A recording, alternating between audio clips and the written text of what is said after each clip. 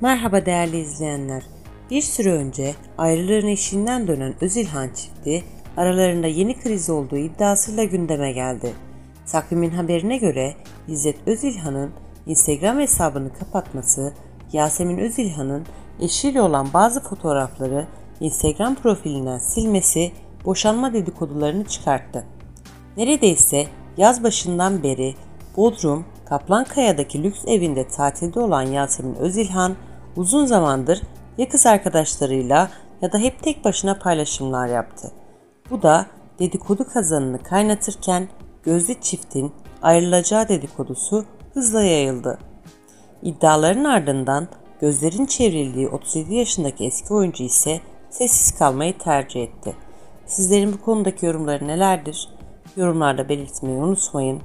Videomu izlediğiniz için teşekkür ediyorum. Bir sonraki videomda görüşmek üzere. Kendinize iyi bakın.